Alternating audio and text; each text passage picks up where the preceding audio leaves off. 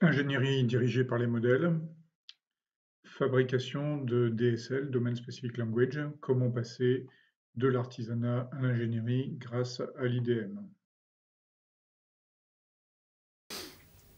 Alors, qu'est-ce que je veux dire par comment on passe de l'artisanat à l'ingénierie sur les DSL Eh bien, c'est qu'on ne se place plus dans, le truc de je vais créer un DSL là comme ça euh, sur un coin de table parce que j'ai un problème à résoudre et puis euh, je résous mon problème et puis j'oublie. Ça c'est vraiment le boulot de l'artisan. Alors ça, c'est pas péjoratif, c'est-à-dire ça peut très bien être quelque chose qui est justement euh, particulièrement soigné, particulièrement joli, particulièrement brillant, etc. ou particulièrement astucieux. Hein. c'est un peu ça aussi l'artisanat. mais évidemment, quand vous en avez plein à faire, euh, que ceux-ci ne sont pas juste des one-shots, mais doivent évoluer dans le temps, vont avoir des versions, vont avoir des variantes, etc., mais vous avez des problèmes d'ingénierie derrière. D'accord? Euh, Donc, euh, il s'agit d'aller vers supporter un, simple, un, seul DSL vers le, fait d'en supporter de nombreux, qui interagissent les uns avec les autres, qui ont différentes, différentes variantes et qui évoluent au cours du temps. Et donc, c'est l'idée que ces DSL vont former des lignes de produits, des familles de DSL qu'il va falloir faire évoluer, alors en utilisant les mêmes, techniques. Nous, notre approche, c'est d'utiliser les mêmes techniques qu'on utilise pour les familles de produits de manière un petit peu classique, euh, et qui vont permettre en particulier de ne pas redévelopper les, chaînes d'outils à partir de zéro quand on a une variante le DSL, ou quand on le fait évoluer. Mais la question, c'est quelle partie on peut réutiliser de manière sûre? D'accord? Donc c'est le genre de question qui nous intéresse. Et puis, comment on fait pour que ça soit... Euh, pour s'assurer que c'est, euh, ben, par exemple, qu'on évolue dans le temps, que c'est backward compatible? Ou bien que comment on fait pour migrer les artefacts? C'est-à-dire vous avez le programme, vous avez écrit un, gros programme avec un DSL, mais vous changez ce DSL-là, vous le faites évoluer, comment ce programme il continue à exister?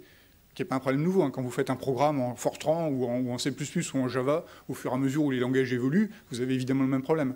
Simplement, euh, ces langages-là évoluent à un rythme qui est beaucoup plus lent que le rythme typique auquel les DSL évoluent, qui sont beaucoup plus petits et euh, fait pour des, choses particulières.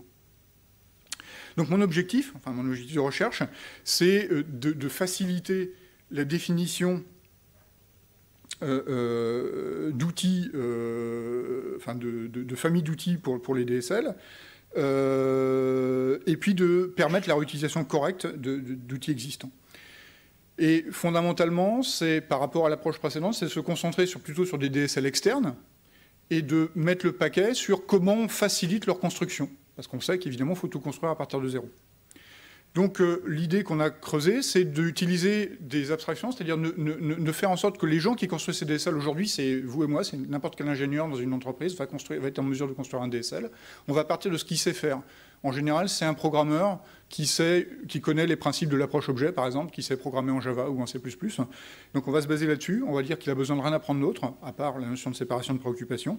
Et puis, ben, c'est la même idée. On va utiliser un ensemble de DSL pour construire des DSL. Euh, et, en fait, tout ce qui est euh, euh, réutilisation va s'appuyer sur du typage statique qui existe dans ces langages-là pour permettre ça.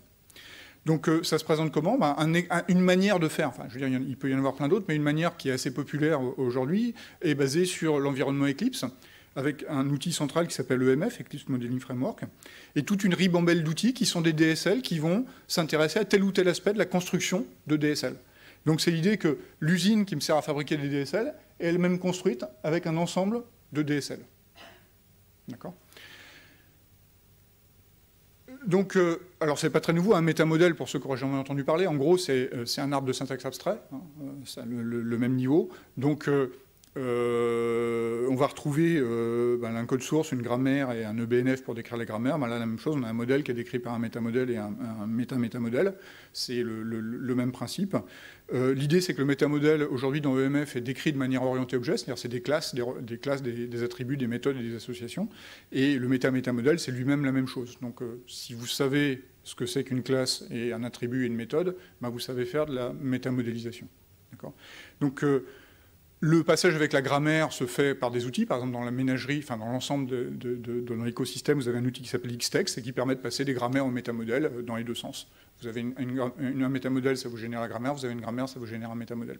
Et ça génère les parseurs, les pretty printers et tout ce qui va avec. donc notre, notre approche, c'est de s'appuyer là-dessus, c'est-à-dire de prendre un truc qui est un métamodèle. Donc vous voyez, c'est juste un diagramme de classe finalement, euh, donc c'est pas compliqué. Et puis ben, d'utiliser cette notion de séparation, de, faire la même chose que ce qu'on fait au niveau, je veux dire, où on construit des programmes, de le faire au niveau des métaprogrammes, c'est-à-dire d'avoir, au lieu de faire un, truc monolithique, un langage monolithique, on va avoir un ensemble de langages qu'on va combiner, d'accord, pour décrire euh, ces choses-là. C'est-à-dire on, utilise la même approche. Euh, donc euh, un, un métamodèle, c'est un programme orienté objet qui fait rien, c'est juste une structure de données qui contient, par exemple pour une machine à état, ça contient des états et des transitions. Euh, donc on l'importe. On peut lui ajouter de la sémantique statique avec un langage qui s'appelle OCL, par exemple, qui va permettre de faire des contraintes un peu à la relationnelle. Hein. par exemple, pour tout ensemble d'états, aucun doit avoir, enfin, ils doivent tous avoir des noms différents. Et ça, je peux l'intégrer en le mettant là-dedans. Et le fait que j'ai un contexte fait que ça devient un invariant dans la classe du, FSM. Et puis, euh, je peux rajouter du code aux méthodes, d'accord, en décrivant quelque chose de particulier. Donc, par exemple, pour faire un aspect interprétation qui va me donner la sémantique opérationnelle. Et puis, eh ben, je peux faire de la transformation de modèle. Par exemple, si je veux faire une minimisation de cet automate, faire un calcul sur mon, sur mon programme, sur mon modèle, eh bien, euh, je l'encapsule et puis je prends l'algorithme de minimisation d'un automate dans un bouquin, puis je le recopie en l'adaptant à cette structure de données particulière. Donc, du coup, ça devient simple pour quelqu'un qui sait programmer en orienté objet, on va dire.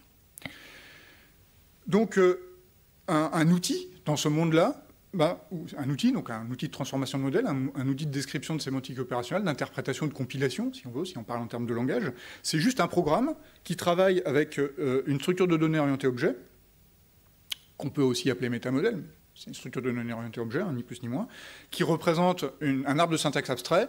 C'est pas tout à fait un arbre de syntaxe abstrait, c'est un graphe parce que c'est le graphe d'objet euh, instance du métamodèle. Mais bon, fondamentalement, c'est le même niveau de concept. Et donc, euh, l'idée de, Carmeta, c'est d'organiser la structure du, programme, de ce programme de transformation, en utilisant la décomposition orientée objet qui est déjà présente dans le métamodèle. Et donc, maintenant, l'idée, c'est que n'importe quel ingénieur logiciel qui sait programmer un minimum en orienté objet ben, peut construire des DSL. Hein, c'est vraiment l'idée. Et puis, on va euh, permettre la, réutilisation de, chaînes d'outils en utilisant euh, le typage. Alors bon, je vais passer rapidement là-dessus parce qu'on arrive au bout de la présentation. Donc par exemple, là, ici, si j'ai ma machine à état et que je veux euh, faire une, transformation et puis que je fais évoluer mon, mon, langage en ajoutant des choses, la question c'est est-ce que le programme que j'ai déjà écrit continue à marcher ou pas? D'accord? Est-ce que les outils que j'ai déjà créés, de manière plus générale, continuent à marcher ou pas?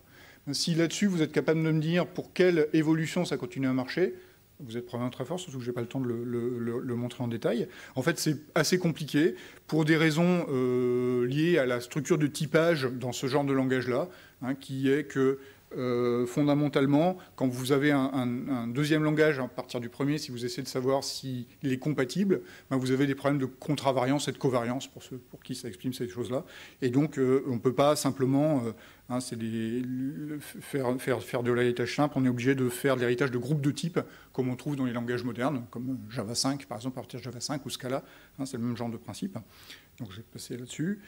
Euh, voilà, et donc on a euh, une structure de typage qui permet euh, de dire qu'un langage finalement peut hériter d'un autre langage et l'étendre, et donc on sait dans quel cas on peut réutiliser du code qui a déjà, qui a déjà, été, qui a déjà été existant, et donc ce qui permet d'assurer la compatibilité. Donc il y a un algorithme pour faire ça, l'algorithme de typage est là, mais je vais, pas le, je vais le passer rapidement.